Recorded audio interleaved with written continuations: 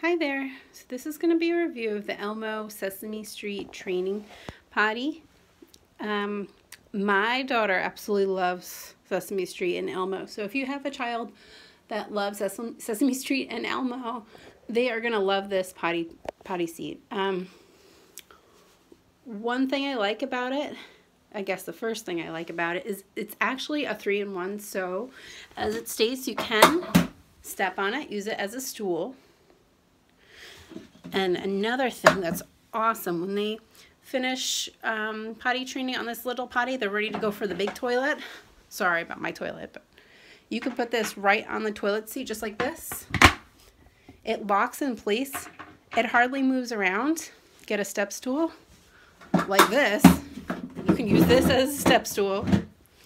So they can step on the step stool onto the toilet, do their business, wash their hands, dry their hands, and leave. And it's it's awesome. If I had known that this was so great, I would have gotten this for my firstborn, but this kind, um, I think they do make other characters. My At the time, my son didn't really like Sesame Street or Elmo very much, so um, so we got him another toilet, which I'm to do a review on. It's like the one that looks like a little person's um, it looks like a adult toilet, but it's actually a small toilet. I'll do a, review on that one too. But this Elmo potty um, is great because it is so easy to clean too. Um, since this part comes off, I can rinse it with hot water or hand sanitizer, uh, sanitizer. And this comes off too. So this is very easy to clean. Um, this also, I mean, it is very, very easy to clean. There's no, no real um, little crevices or places where I can't get to clean. And I love that about it. Um, because there are some toilets that are extremely hard to clean. This one is just, they just make it so easy for you. So we really enjoyed that. My daughter, of course, really enjoys the, when she's ever she's done um, doing her thing, then she turns around and there's there's a bunch of different sounds that Elmo makes.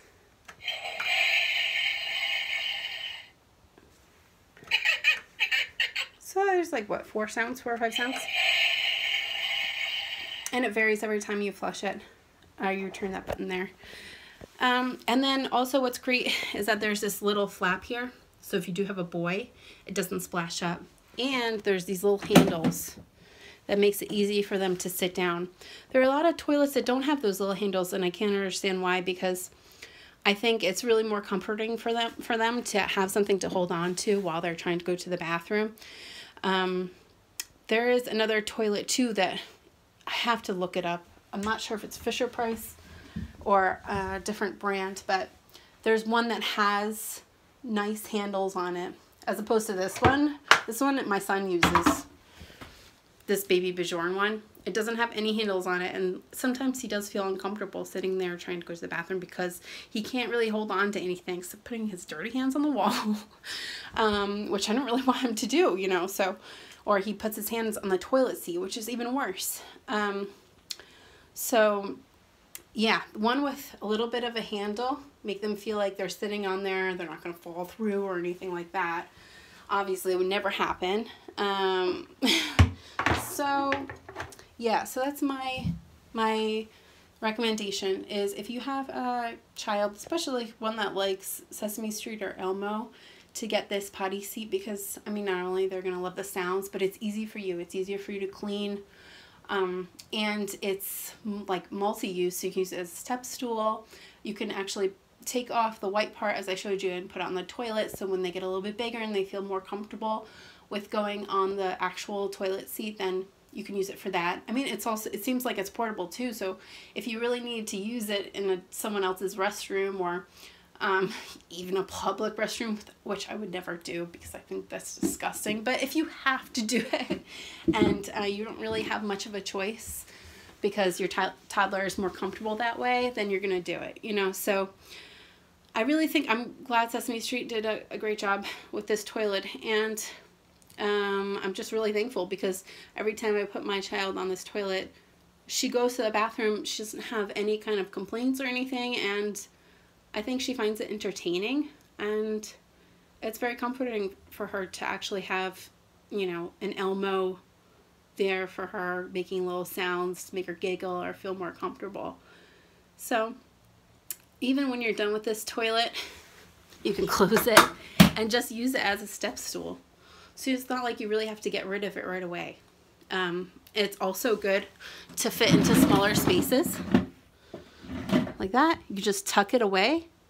Don't have to worry about it. And it's awesome. So if you have any questions or anything, oh, these do take batteries, by the way. Sorry about that. Let's see, what does it take? Um, I think it's just double A batteries. But anyway, I'll double check that and I'll put it in the comments just to make sure. But these batteries last, I mean, it does last quite a bit. We've had this potty going for maybe six months or something, and the battery still hasn't worn out. So the battery life is pretty good on it. And yeah, I don't have any issues. I hasn't broken or anything. It's also, you know, the colors can be okay for a girl or, or okay for a boy, and it's affordable. I think I spent $25 on it at the store. 25 30 $30 at, at Target. So, yeah, really cute Elmo. Also, if you are into consigning, I make consignment videos. You could definitely consign this potty if you don't need to use it anymore. This will go very quickly at a consignment sale because of how great it is and it's Elmo and everyone, you know, all the kids, little kids love Elmo. Okay, so if you have any questions or comments, let me know. I'm sorry you had to look at my really ugly walls and floor, but it's okay. Anyway, thanks for watching. Bye.